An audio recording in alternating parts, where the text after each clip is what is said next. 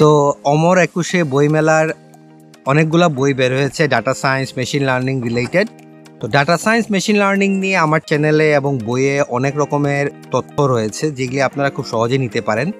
এর বাইরে আপনারা যদি চান যে মেশিন লার্নিং বা ডাটা সায়েন্সের উপর একাধিক পড়াশোনা বা কোর্স করার জন্য, এতেও আমার কয়েকটি ভিডিও রয়েছে ফ্রি কোর্স কীভাবে করবেন। কগনেটিভ ডট এআই নামে একটি কোর্স রয়েছে, যেটা আপনি খুব সহজেই করে নিতে পারবেন। তবে মজার বিষয় হচ্ছে, আমি আজকে ডাটা সায়েন্স মেশিন লার্নিং নিয়ে খুব বেশি কিছু বলব না। মূলত দুই হাজার বাইশ তেইশ সালে যখন আমরা এ অবস্থায় আছি যে করোনার কারণে বা কোভিডের কারণে জবের যে অবস্থা সারা পৃথিবীতেই, সেখানে এক ধরনের স্কিলের ক্রাইসিস রয়েছে। তো স্কিল যে ক্রাইসিস রয়েছে, কিছুদিন আগে আমি দেখলাম যে অস্ট্রেলিয়ার নতুন একটি স্কিল মাইগ্রেশন কোটা চালু করেছে ডাটা সায়েন্সের উপর। সেম গোজ টু ক্যানাডা তো ডাটা সায়েন্স আর মেশিন লার্নিং বা এই রিলেটেড ডাটা অ্যানালিটিক্স টাইপের বিষয়গুলো বাংলাদেশের শিক্ষার্থীরা যারা আছেন বা আমরা যারা এ বিষয়ে আগ্রহী, তাদের জন্য কিন্তু নতুন নতুন অপরচুনিটি তৈরি হচ্ছে। এবং ফ্রিল্যান্সিং প্ল্যাটফর্মেও এই ধরনের বিষয়গুলোকে আমরা প্রায় দেখি যে অনেক ডিমান্ড রয়েছে। তো যে কোনো বিষয়, যেমন আর প্রোগ্রামিং বা পাইথন অথবা আমি যদি বলি যে ডাটা সায়েন্সের অন্যান্য যে প্রোগ্রামগুলো রয়েছে, যেমন এক্সেল এই বিষয়গুলোকে আপনাকে যদি শিখতে চান, তাহলে শিখার মেইন টেকনিকটা তো সাধারণত আমি যে টেকনিকটা ফলো করি, সেটা হচ্ছে যে যে কোনো জিনিস যদি আপনি কোডিং শিখতে চান বা কোনো মডেল শিখতে চান, সেটা প্র্যাকটিসের কোনো বিকল্প নেই। তো প্র্যাকটিসের জন্য সাধারণত আমরা যেটা করি, সেটা হচ্ছে যে বেসিক্যালি অনেক সময় মনে হয় যে, প্রতিদিন আমি এক দুই ঘণ্টা করে বসে বসে এই কোডিং করব বা কোডিংয়ের বিষয়গুলোকে প্র্যাকটিস করব, অথবা এক্সেলে বা কোনো আর এর কোনো প্ল্যাটফর্মে কাজ করব, সেটা না করে যদি দৈনিক আমরা five minute to ten minutes এর বেশি না five to ten minutes coding করলে আর কোনো একটা মডেলের বিষয়ে আপনি যদি ধারণা নিতে চান five to ten minutes is enough এখন এই ফাইভ টু টেন মিনিটসটাকে আপনি ভাগ করে নিতে পারেন। ফর ইনস্ট্যান্স আপনি যদি চান যে আপনি তিন থেকে চার মিনিট ওই বিষয়ে একটু গুগল করবেন সার্চ করবেন, বই পড়বেন, তো সেটা হতে পারে একটা ভালো ভালো সময়। কোডিংটা যখন আপনি করবেন, তখন প্রতিদিন পাঁচ মিনিট, দশ মিনিট করে করলেন। এর মধ্যে দুই মিনিট, তিন মিনিট আপনি রিসোর্সগুলো দেখলেন। ফর ইনস্ট্যান্স আপনি যদি দেখেন যে বইয়ের যে রিসোর্সগুলো রয়েছে বা অনলাইনের যে রিসোর্সগুলো রয়েছে, সেই রিসোর্সগুলোকে আপনি ব্যবহার করতে পারেন ওই তিন থেকে চার মিনিট।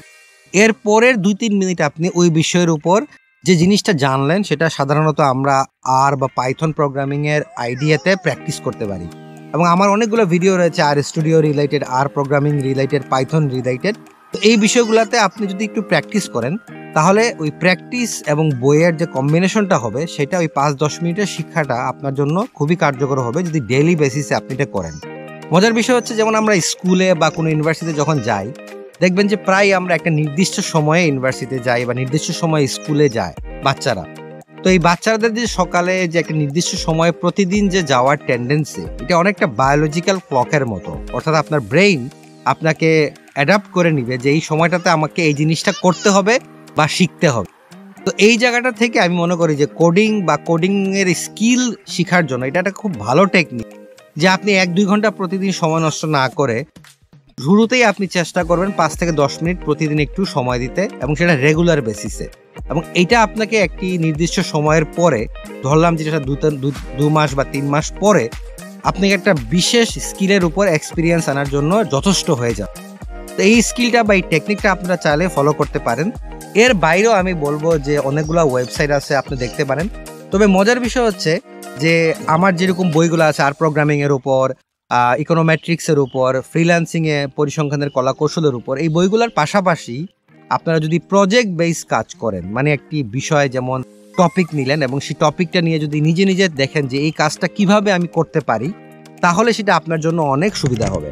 এর বাইরেও যদি আপনার কাছে মনে হয় যে স্কিল ডেভেলপমেন্টের কোনো আলাদা কোর্স করা দরকার, সেটাও আপনি করতে পারেন ইউডিএমিতে এবং কোর্সেরা তবে আমার পার্সোনাল অপিনিয়ন হচ্ছে যে নিজে একটা বিষয়ের মোটামুটি এনাফ যতটুকু জানা দরকার ততটুকু শেখা উচিত এবং সেই শিক্ষাটা নিয়ে কোনো একটা প্রজেক্টে কাজ করা উচিত সেটা অল্প সময়ের জন্য পাঁচ থেকে দশ মিনিট প্রতিদিন রেগুলার বেসিসে এটা মূলত আপনাকে স্কিল ডেভেলপমেন্টের পিছনে অনেক বেশি সহায়তা করে। এবং পাশাপাশি আমার যে বইগুলো রয়েছে, এই বইমেলা তো আমার একটি বই বেরিয়েছে, সেই বইটিও আপনারা দেখতে পারেন।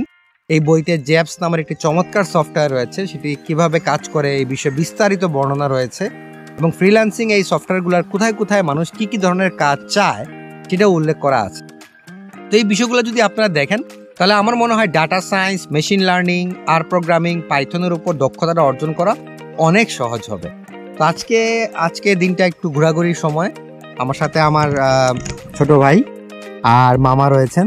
তো আমরা একটু ঘোরাফেরা করার জন্য আজকে আসছি। তো ব্লগটা মূলত ছিল ডাটা সায়েন্স মেশিন লার্নিং শেখার কিছু টেকনিক টিপস আর সাথে আপনাদের সাথে কিছু সময় কাটানো। দেখা হবে নেক্সট কোনো ব্লগে